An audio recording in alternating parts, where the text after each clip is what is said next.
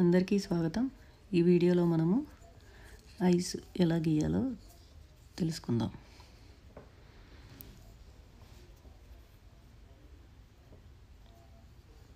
ముందుగా నేను ఇంతకుముందు వీడియోలో మీకు నోస్ ఎలా గీయాలో మౌత్ ఎలా గీయాలో చూపించాను.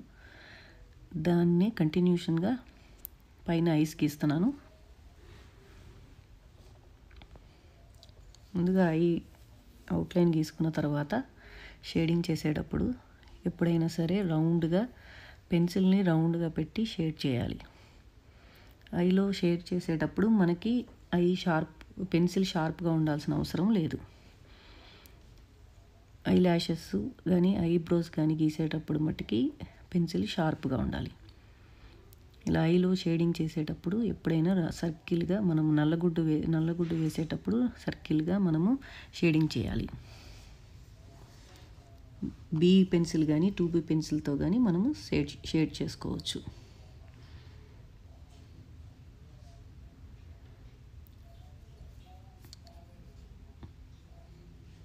పైన కన్ను పైన రెప్ప బాగా థిక్గా ఉంది. కిందది కొంచెం లైట్గా ఉంది. అందుకని నేను పైన ముందుగా టూ బీ పెన్సిల్ వాడుతున్నాను. తర్వాత ఫోర్ బీ కానీ సిక్స్ బీ కానీ యూస్ చేస్తాను.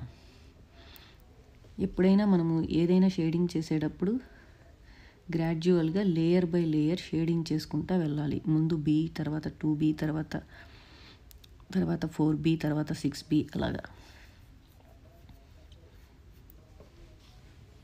డైరెక్ట్గా సిక్స్ బీ వాడి మనము చేయడం కంటే టూ బీ త్రీ బీ వాడిన తర్వాత సిక్స్ బీ యూస్ చేస్తే బాగుంటుంది.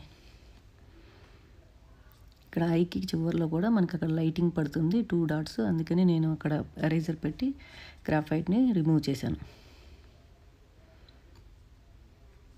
మనం పక్కన పిక్చర్లో అబ్జర్వ్ చేసినట్లయితే పైనది బాగా థిక్గా ఉంది. అందుకని నేను సిక్స్ బీ పెన్సిల్ యూస్ చేస్తున్నాను ఇక్కడ.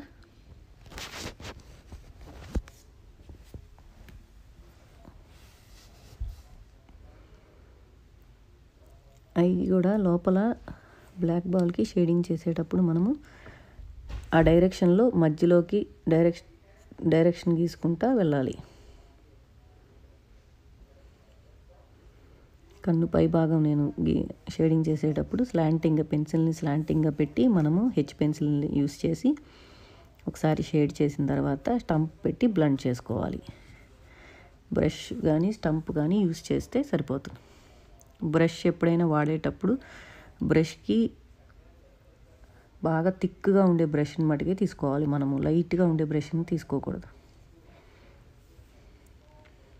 టిష్యూ పేపర్తో కూడా మనము బ్లెండ్ చేసుకోవచ్చు.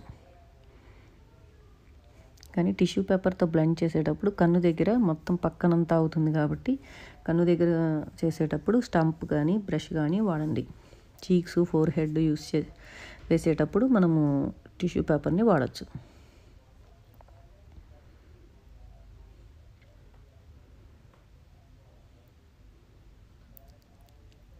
ఐ ల్యాషెస్ కానీ ఐబ్రోస్ కానీ గీసేటప్పుడు పెన్సిల్ ఎప్పుడైనా షార్ప్గా ఉండాలి. మనము ఆ పక్కన పిక్చర్లో డైరెక్షన్ ఎలా అయితే ఉందో ఐబ్రోస్కి మనం ఆ డైరెక్షన్లోనే గీసుకోవాలి.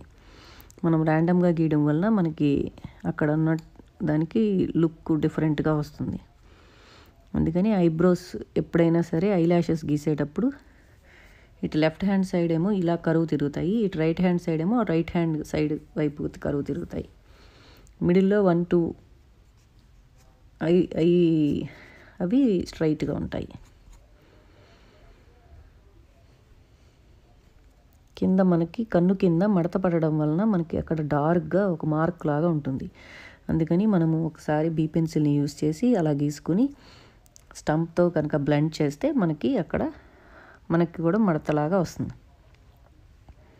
ఐబ్రోస్ గీసేటప్పుడు కూడా ఎప్పుడైనా బీ పెన్సిల్తో మనము డైరెక్షన్ ఎప్పుడైనా సరే స్లీపింగ్గా పక్కకి వంపుగా గీయాలి. గీసిన తర్వాత బ్లండ్ చేసుకుని మళ్ళీ దాని మీద టూ బీ పెన్సిల్ని యూస్ చేసి కానీ త్రీ బీ పెన్సిల్ని యూస్ చేసి కానీ రెండోసారి గీయాలి. అలా గీసిన దాని మీదే మళ్ళీ టూ త్రీ టైమ్స్ గీయడం వలన మనకి థిక్గా ఐబ్రోస్ అయితే వస్తాయి.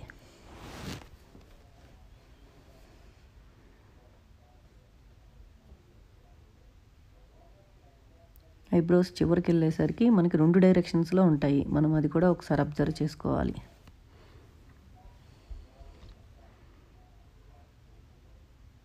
పైన ఐబ్రోకి కింద కన్ను వైపుగా కింద ఎక్కువ తిక్కుగా ఉంటుంది. ఎందుకంటే అక్కడ లైట్ బ్లాక్ అవుతుందన్నమాట. పైన కొంచెం లైట్గా ఉంటుంది. అందుకని కింద మనము సిక్స్ బి యూస్ చేసి రెండు సార్లు లేయర్ బై లేయర్ వేయాలి.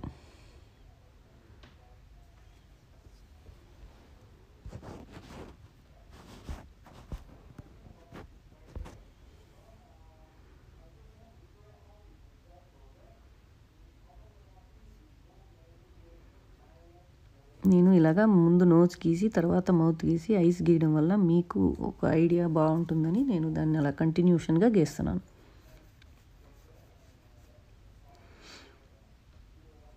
కన్నుకి చివర అక్కడ మనకి లైట్గా ఉంది. అందుకని నేను నీడెడ్ ఎరేజర్ పెట్టి గ్రాఫైట్ని రిమూవ్ చేశాను. మీ దగ్గర నీడెడ్ ఎరేజర్ లేకపోతే నార్మల్ ఎరేజర్నైనా యూస్ చేసి కాకపోతే దాన్ని కొంచెం షార్ప్గా మనం కట్ చేసుకుంటే సరిపోతుంది.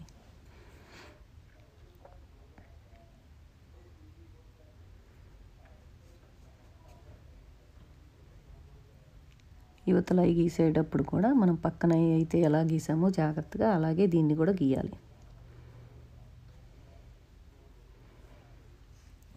ఎప్పుడైనా సరే మనం ఐ షేప్ని ముందుగా అవుట్లైన్ గీసుకున్నాం కాబట్టి ఆ అవుట్లైన్ని డిస్టర్బ్ చేయకుండా మనం జాగ్రత్తగా అవుట్లైన్ ప్రకారం గీసు షేడింగ్ చేసుకుంటూ వెళ్ళాలి.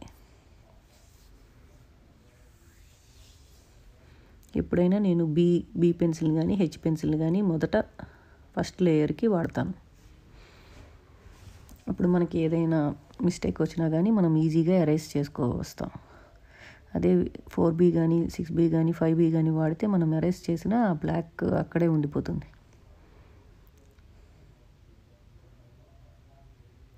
చక్కగా దగ్గరగా మనం పెన్సిల్ని దగ్గర దగ్గరగా షేడ్ చేసుకోవాలి.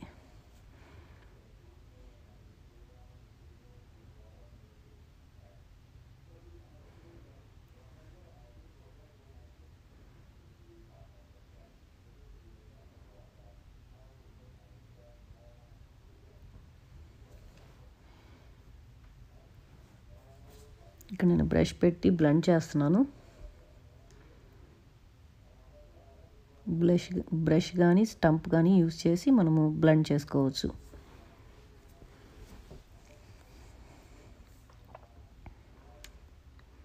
యువతల కన్ను కూడా మనం చూసినట్లయితే పైన కన్ను రెప్ప పైన భాగమే మనకి బాగా థిక్గా ఉంది కింద లైట్గా ఉంది.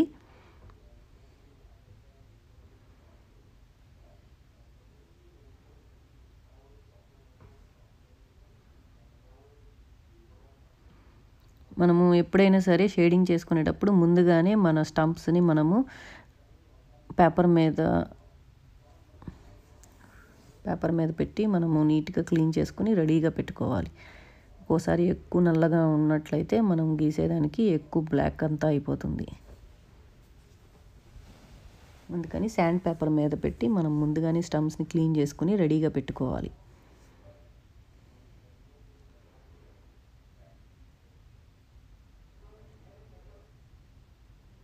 దాన్ని మళ్ళీ స్టంప్ పెట్టి మనము బ్లండ్ చేయాలి. కింద కూడా అలాగే ఉంది. పక్కన కన్నుల పక్కన కన్నుకి అయితే ఎలా ఉందో అలాగే ఉంది.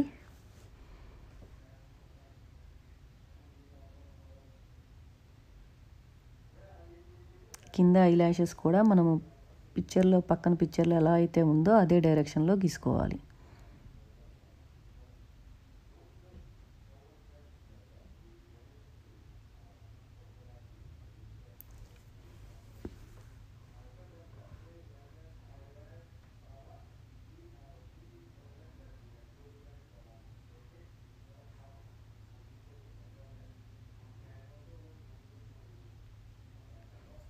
మనం only two B pencil use చేసి కూడా మనం మొత్తం పోర్ట్రేట్ అంతా గీయొచ్చు. కాకపోతే అంత అన్ని డార్క్ అంతా మనము ఎక్కువ తీసుకురాలేము. అందుకని మనము three B four B six B పెన్సిల్ని use చేస్తే బాగుంటుంది. కింద ఈ ఐ కూడా అలాగే మనము ఒక్కసారి గీసుకునే ముందు ఎప్పుడైనా సరే ఒక్కసారి మళ్ళీ పెన్సిల్తో మెజర్ చేసుకుని గీయండి.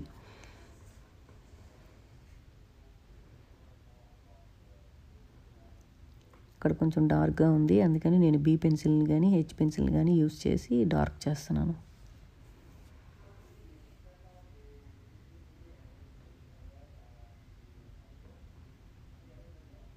మళ్ళీ ఐబ్రోస్ని ఐ లాషెస్ని మళ్ళీ థిక్ చేస్తున్నాను.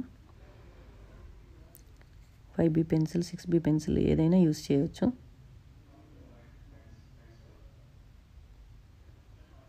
కానీ ఐ ల్యాషెస్ గీసేటప్పుడు మటుకి ఎప్పుడైనా సరే ఐ పెన్సిల్ షార్ప్గా ఉండాలి. అది మనం గుర్తుపెట్టుకోవాలి. లేదా పెన్ పెన్సిల్ అయినా యూస్ చేయవచ్చు. ఇక్కడ నేను పెన్ పెన్సిల్ యూస్ చేస్తున్నాను.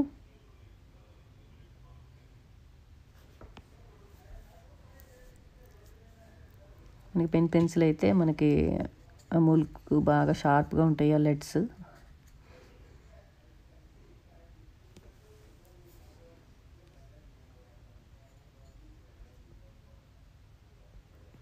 మనం ఒక్కొక్కసారి డ్రాయింగ్ గీసేటప్పుడు మిస్టేక్స్ వస్తూ ఉంటాయి. అయినా కానీ మనము మీ మిస్టేక్స్ వచ్చినాయి కదా అని వదిలేయకుండా మనం పదే పదే ట్రై చేస్తూ ఉంటే మనకి తెలియకుండానే మనకి ఆ పిక్చర్ వచ్చేస్తుంది. పిక్చరే కాదు మనం డైరెక్ట్గా పోర్ట్రేట్ గీయాల్సిన అవసరం లేదు. ముందుగా ఒక ఐ ఐ డ్రాయింగ్ ఎలా గీయాలో నేర్చుకుని వన్ బై వన్ అలాగా నోస్ అలాగా అలాగైనా మనం ట్రై చేయొచ్చు.